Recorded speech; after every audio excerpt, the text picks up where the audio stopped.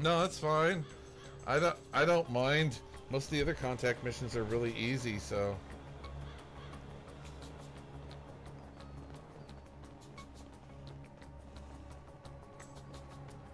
Man, everyone's got that crew color. That's like the most common crew color ever. It's a slight. It's kind of. What is that? That's not lime green, obviously. What is that? It's like a. s- Uh, it's. Huh.